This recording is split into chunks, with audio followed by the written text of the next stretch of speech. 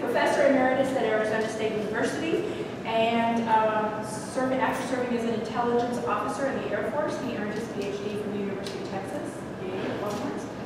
And um, he worked at the University of Texas Institute for Texas Texan Cultures and uh, associate director of the Texas State Historical Society. Anyway, instead of me just talking, we'd love to listen to you talk about uh, Doris Miller. So Well, welcome. it'll be my turn then. Okay. Thank you so much. How y'all doing? All right, great. Appreciate you being here. Hope you stay to the bitter end. Uh, They, they tell you in Toastmasters that you never begin a speech by complaining or making excuses. But I've got to say that last week I had some eye surgery that didn't go exactly according to plan, and my vision is skewed. So my face is going to be in my notes, for which please forgive me. You can see the top of my bald head. But uh, as, as we said, this is, uh, going to be talking tonight about uh, Doris Miller. Now, among the pantheon of America's military and naval heroes, none is more improbable than the son of a Texas sharecropper, Doris Miller. And yes, his name was Doris. Uh, as, as was common uh, at the time and place, midwives were, in lieu of a fee, were allowed to name the babies that they delivered. And Henrietta Miller's midwife, hmm, can't, there it goes. you can't use a laser on it, Okay, a screen. I guess I can. Uh, Henrietta Miller's midwife was certain that her baby was going to be a girl, and so named him Doris. And uh, a little bit prematurely, but the name stuck. Everybody liked Doris, including Doris himself. Nobody gave him a bad time about it. Uh, Doris Miller became fullback of his high school football team. He was heavyweight boxing champion of his first battleship. And uh, so far as I can tell, nobody said anything about going to Doris. I certainly would not it. But uh, Doris Miller was born on the 12th of October, 1919, during the darkest days of the lynching epidemic that blighted the South uh, during, during those, the, the first decades of the 20th century. And he grew up during the depths of the Great Depression. Only three years before Miller was born, his hometown of Waco was the scene of one of the most brutal lynchings on record when 17-year-old Jesse Washington was burned alive on the steps of the town hall with the mayor and sheriff standing by looking on in apparent approval. Miller himself compelled to drop out of high school in order to help support his struggling family. Again, this is the depths of depression. When he could not find work, in September of 1939, at the age of 17, he joined the United States Navy. But the Navy that he joined was characterized by an unbridgeable chasm of racial, racial segregation. With the outbreak of the Civil War, former slave Frederick Douglass urged every man who could, could to enlist and get an eagle on his button, a musket on his shoulder, and a star-spangled banner over his head. Military service, he believed, would bring not only freedom for enslaved African Americans, but equal rights under the law to those who had defended the Union. 57 years later, with the outbreak of World War I, the noted historian and activist W.B. Du Bois noted that nothing else made Negro citizenship conceivable but the record of the Negro as a fighter. The tradition of black sailors in the United States Navy was, by 1942, a long and honorable one. Blacks served in the Navy during every one of its wars and were particularly vital during, to the Union Navy during the American Civil War. During the American Revolution, highly skilled black mariners served in the Continental Navy, as well as aboard state-sponsored navies, privateers, and merchant ships. With American independence in 1783, however, and the demise of the Continental Navy, most black sailors were returned to slavery. When the United States reconstituted its Navy in 1794 to defend American merchant vessels against attacks by the Barbary pirates, free blacks were allowed to enlist with the permission of the ship's commanding officer. The Navy, however, severely restricted the numbers of Africans, African Americans who might serve, with the act- acting secretary of the Navy, Isaac Chauncey, prescribing a limit of 5% on the number of black recruits that the service might enlist. This quota system continued for the remainder of the antebellum period, 5% cap. During the War of 1812, which of course was largely a naval war, African Americans again volunteered their services. Blacks constituted approximately one-sixth of the total personnel and were found aboard American vessels in all ratings. Captain Isaac Chauncey wrote to Oliver Hazard Perry that I have yet to learn that the color of the skin or the cut and trimmings of the coat can affect a man's qualification or usefulness. I have nearly 50 blacks aboard the ship, and many are among the best men I have. By the eve of the Civil War, black sailors comprised approximately two and one half percent of the naval enlisted force. The wartime requirements for additional manpower, however, forced the Navy to abolish its 5% quota and actively recruited free black men. By September 1861, the Navy Department authorized the enlistment of black sailors when their services can be made useful under the same forms and regulations applied to other enlistments. And on the 17th of July, 1862, Congress authorized President Lincoln to employ persons of African descent as he saw fit to help preserve the Union. But in the decades following the Civil War, discrimination and the rise of Jim Crow laws increased. Black sailors lost their status, status that they had earned with wartime service, and their participation in the fleet dropped from a high of 20% in 1865 to 9.5% in the 1890s. During the Spanish-American War, the Navy enlisted blacks into the ranks on a fully integrated basis. It did, however, limit African Americans to the enlisted ranks, no black officers. Then, following the Supreme Court's 1896 Plessy versus Ferguson decision, which legalized segregation, the number of black sailors declined even further, such that by the beginning of World War I, blacks comprised less than 3% of the enlisted men. Further, segregation was rapidly becoming part of naval policy, a reflection of the national social patterns. During the administration of Woodrow Wilson, and Native Georgian will recall, the Navy reduced the number of black enlistments, and Secretary of the Navy Josephus Daniels of North Carolina continued the practice of barring black recruits from serving in combat ratings. And of the 10,000 African Americans in the Navy, all but a few were assigned to the messman branch, which meant that they worked in the laundries and the galleys and served in the officers' mess, maintained officers' billets, and that was the extent of their opportunity. So by the time Doris Miller joined the Navy, black men who wore the blue were not only ineligible for promotion, they were all consigned to the lowly messman branch. They were tasked with making the beds and shining the shoes of their officers and waiting on them in the officers' mess.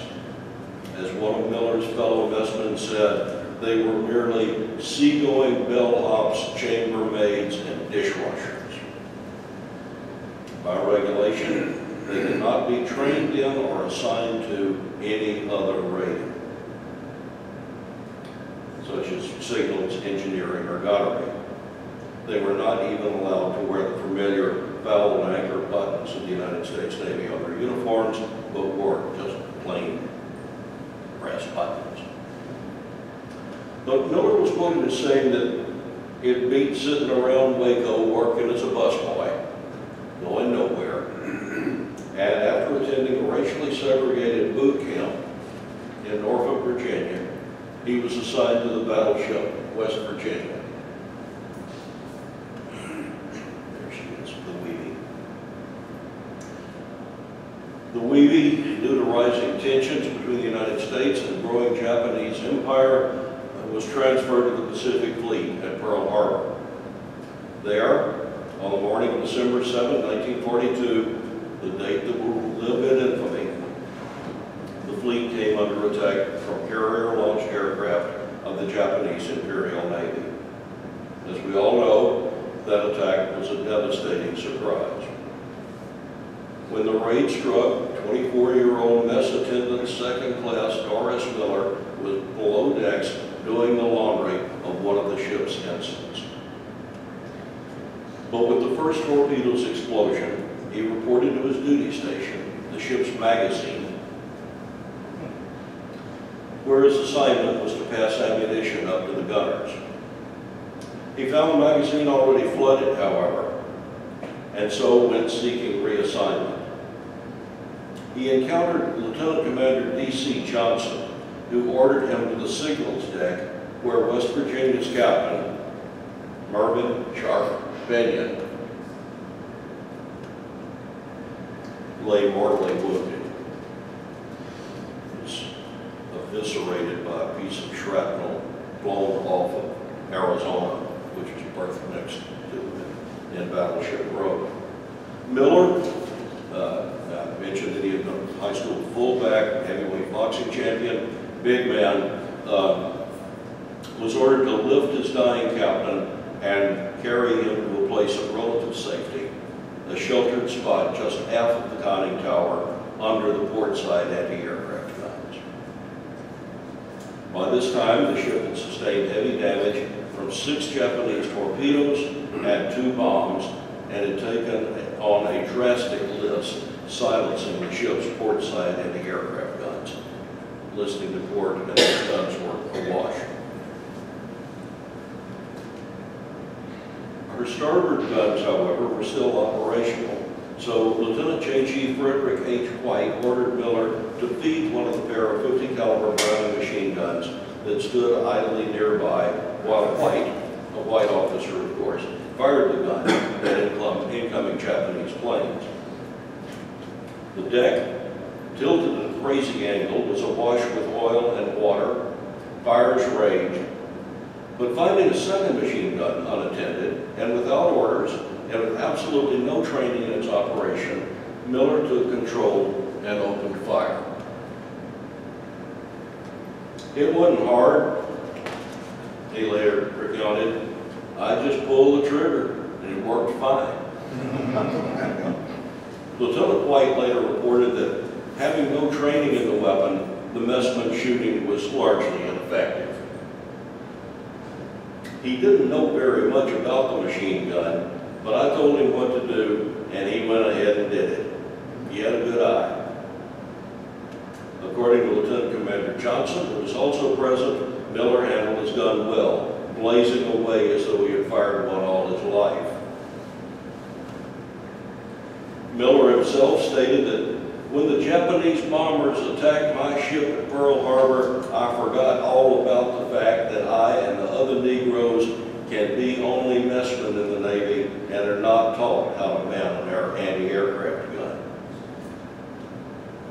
Only when his gun ran out- of ammunition and the critically da- damaged West Virginia began to sink did he cease firing. And only when Captain Bennion was officially pronounced dead did the little group of officers and men abandon the ship's burning bridge. Descending to the boat deck, Miller helped to pull sailors from the burning water, unquestionably saving the lives of a number of men.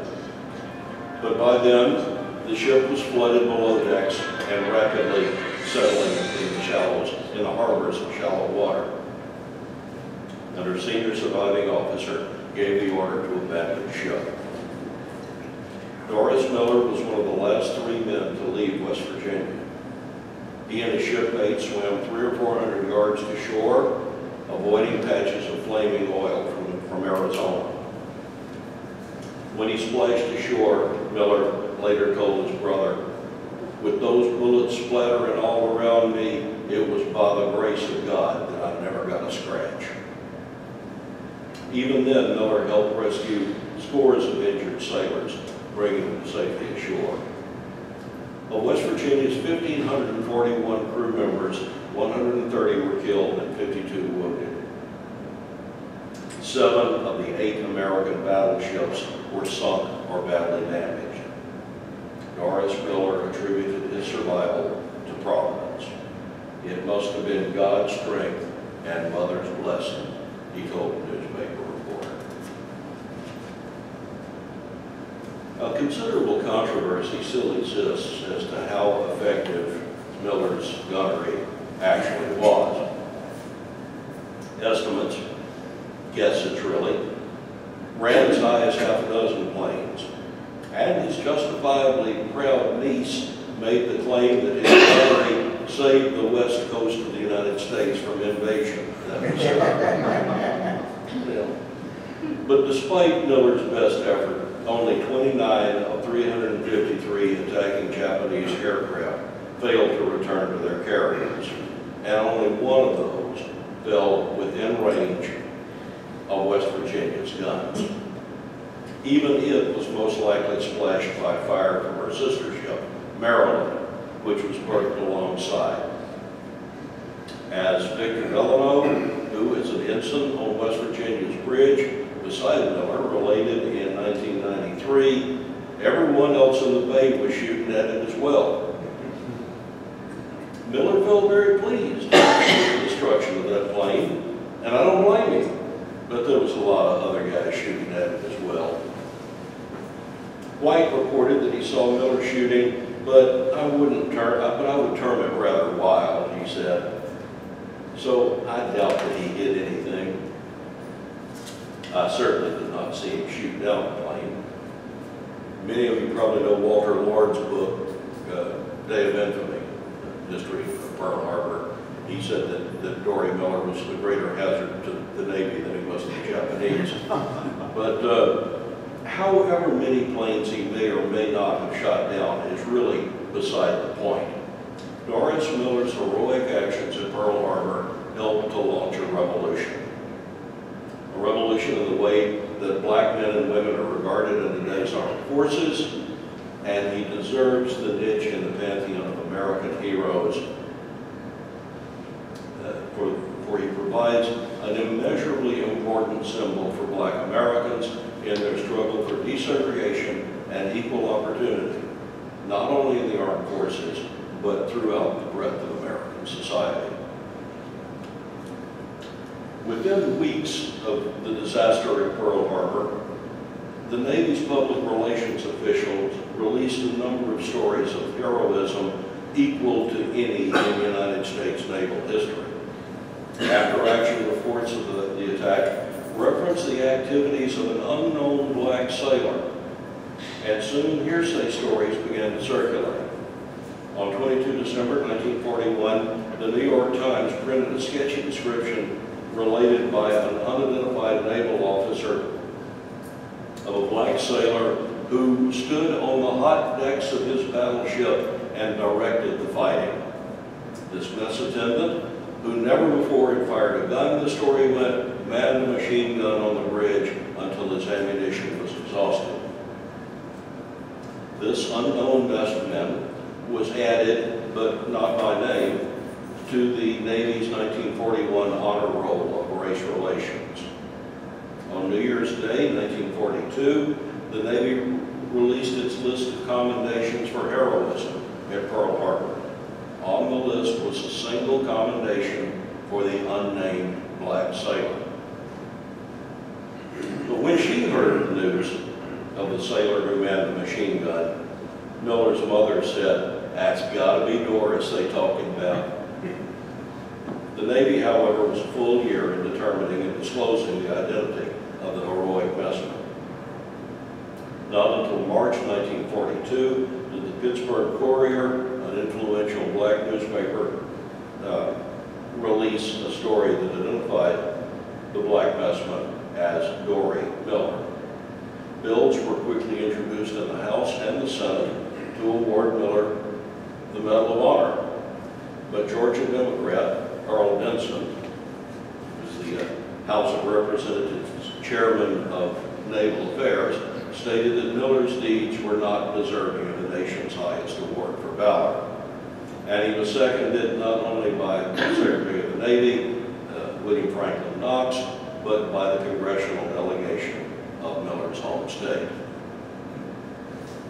Numerous historians and political leaders have argued at that time and since that gallant as the sacrifices of 15 men, all of whom were white and most of whom were officers, many of whom were senior officers, who were awarded the Medal of Honor that day, Dory Miller's exploits were at least of equal distinction, and all the more so because of the oppressive racial stigma under which he performed so heroically. But while this controversy was raging in the press and in Washington, Miller had been reassigned to the heavy cruiser USS Indianapolis and was on duty in the South Pacific. Mother, don't worry about me and tell all my friends not to shed any tears for me. For when the dark clouds pass over, I'll be back on the sunny side. But his rating remained that Messman, and his battle station remained in the hold handling am- ammunition.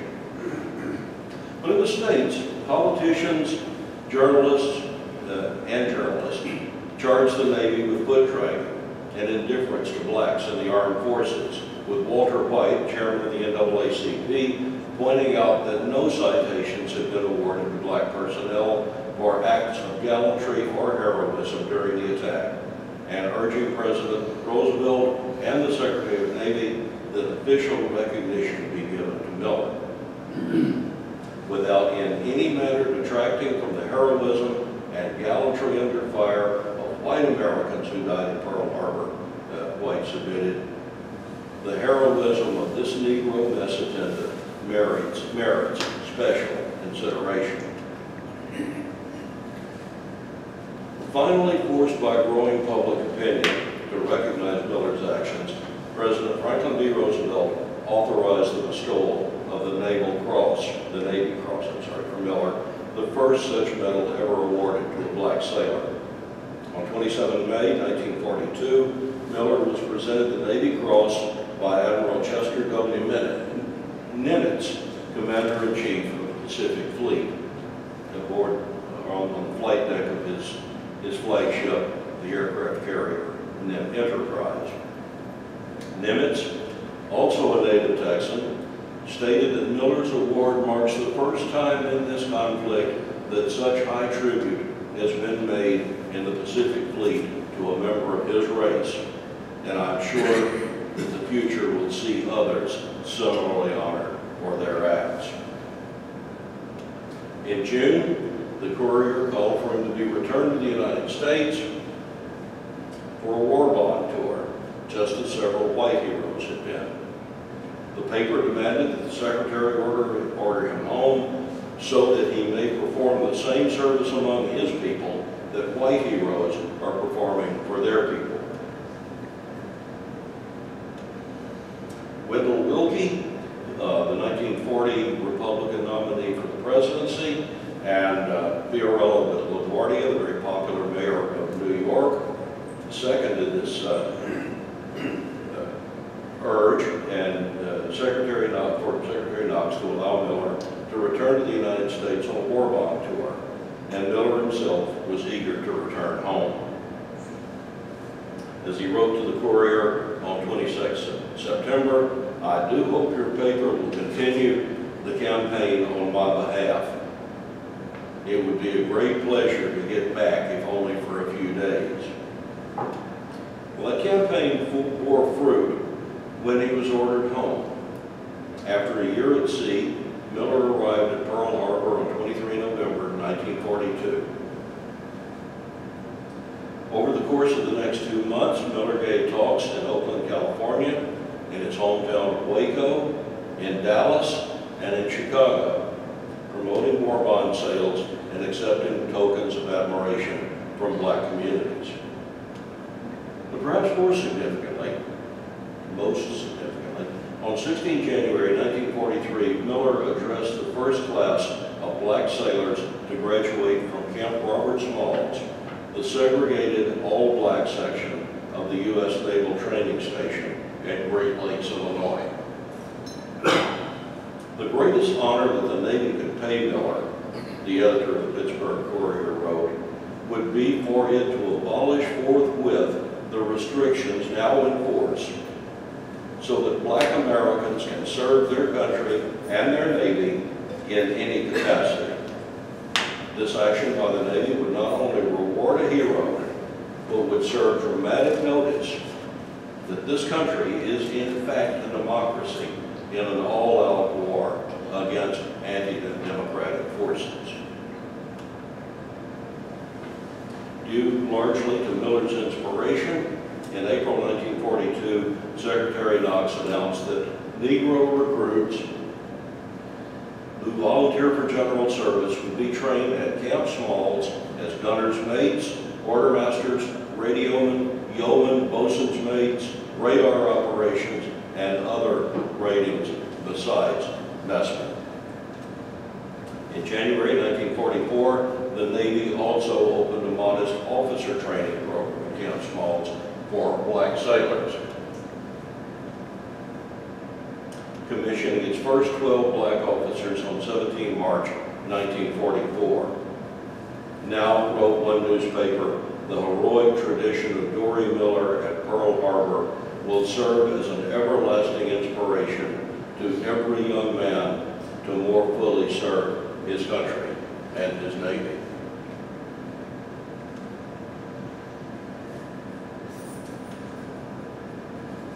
This young man, by the way, was Franklin Roosevelt's valet, Roosevelt's personal servant, and Roosevelt had him at Camp Smalls.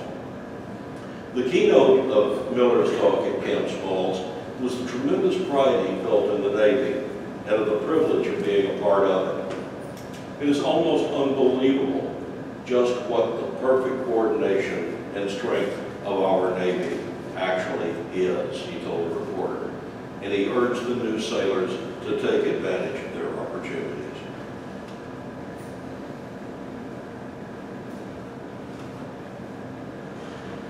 Well, after departing from Camp Smalls, Miller headed south, first to Montgomery, Alabama, and then home to Waco for Christmas leave.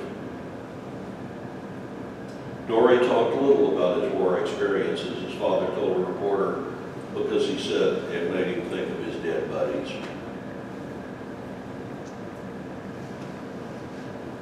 But while the revolution that he had helped inspire was happening around him, Miller himself was transferred for reassignment. On 1 June 1943, he arrived aboard the newly constructed air escort carrier USS Liscome Bay as an officer's cook, third class. His new ship was a CVE, the so-called baby flat top. Only half the length of such uh, fleet carriers as his Enterprise, escort carriers were relatively slow, less well-armed, less ar well-armored, but less expensive to build and quickly built. Liscome Bay supported the Marine landings on Tarawa, pounding Japanese gun emplacements and air bases.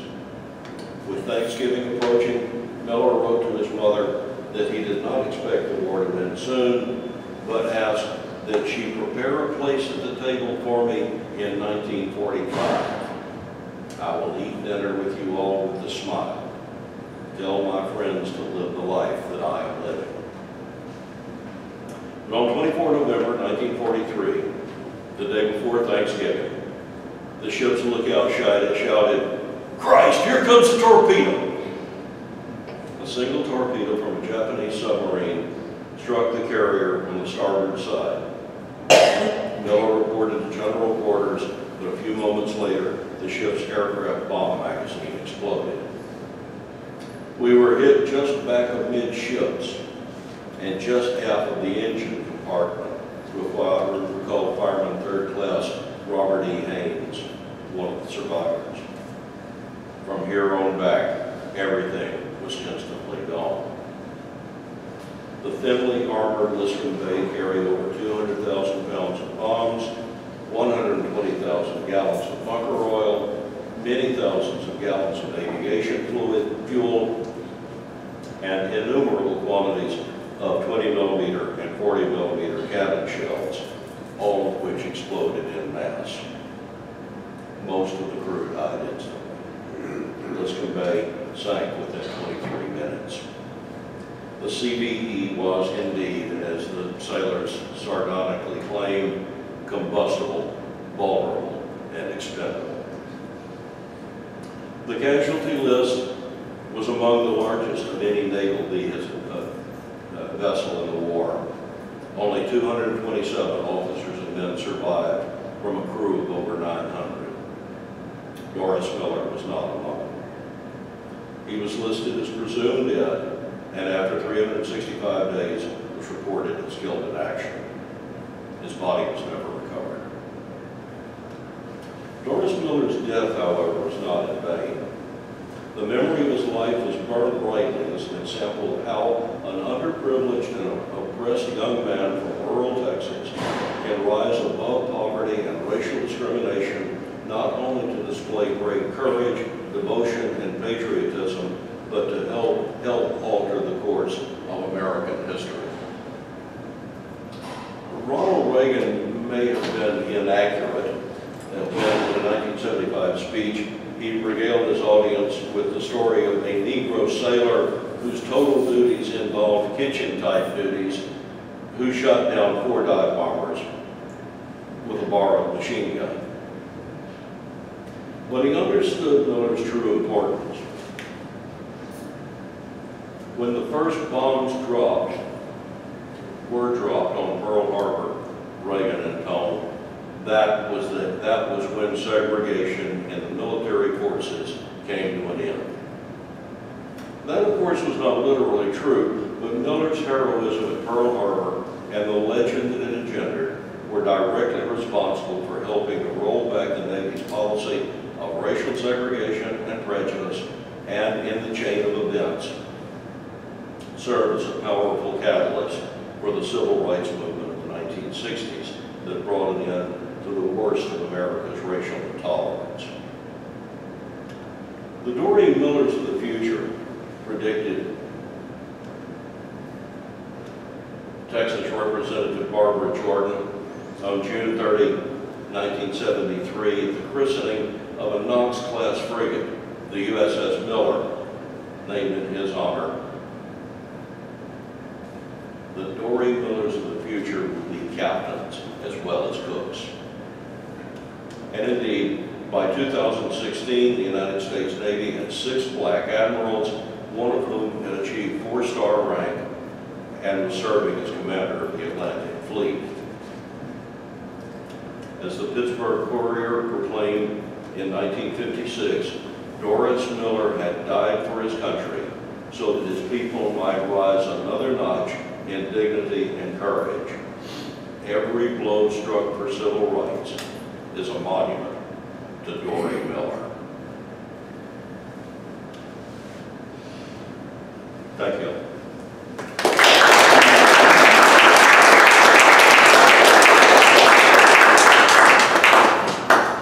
Sad kind of epilogue, by the way. This was USS Miller. She served for about six years, was served, sold to the Turkish Navy, which used her for scrap and then used the hull for target practice. Oh, horrible irony there, I think. I'd be happy to try to entertain questions if you like. Yes, sir. What was his final rank? You, you, it sounded like he was a Mexican second class, and then when he was reassigned to Liscome Bay, I think he was Se- third Second, class. uh, Did he was a, class? his final ranking was cook's, uh, officer's cook, second class, Okay. which was a brand-new rating.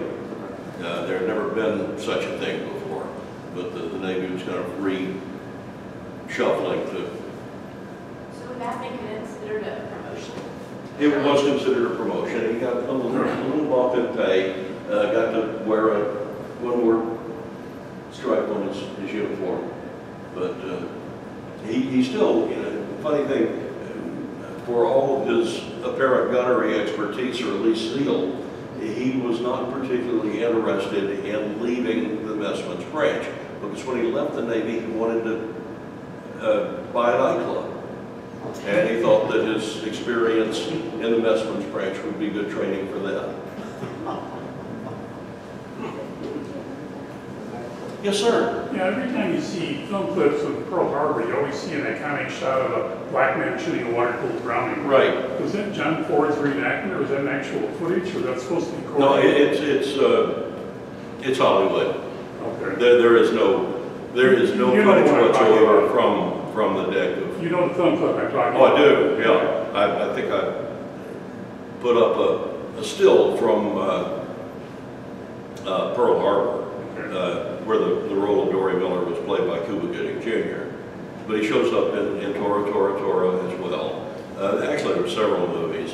Uh, one submarine movie that moved Dory Miller to submarine service, which makes no sense. Uh, But no, it, it- it's all Hollywood. There's no film footage at all from the decks of West Virginia and and Pearl Harbor.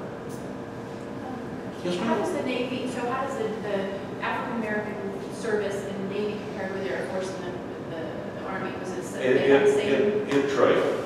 Uh, The Navy was, was much more reactionary, perhaps, than than the other services.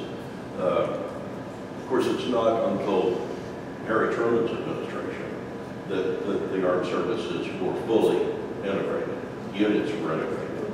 Uh, Many black men in the Army during World War II were still consigned to labor battalions, uh, truck drivers and so forth, under white officers, but the Navy was particularly slow. Interesting. And of course, the, the Air Force, there was no Air Force per se, but uh, black airmen were not allowed to fly. Uh, The, the idea being, and and we see this in, in print, I mean, in official government documents, that they just don't have the intellectual capacity to fly. I mean, that in the, in the nineteen thirties. Officially, that's been proven. Yeah. Okay, wow. Yeah.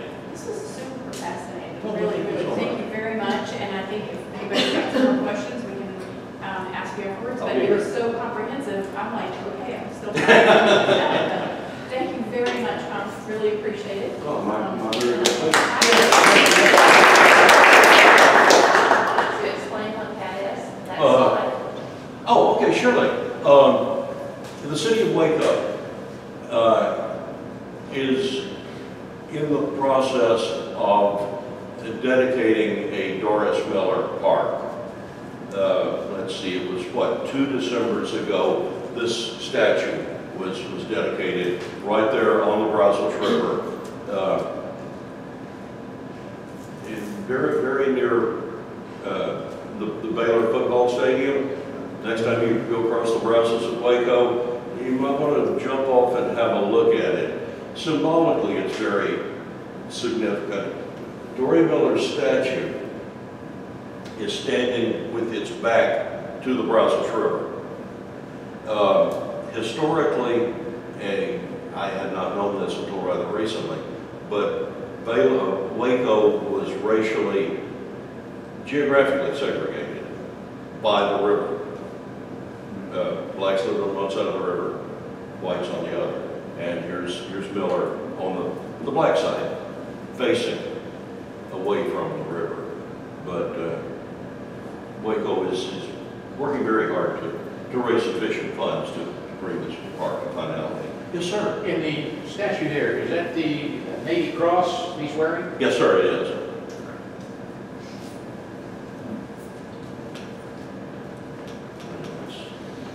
That's the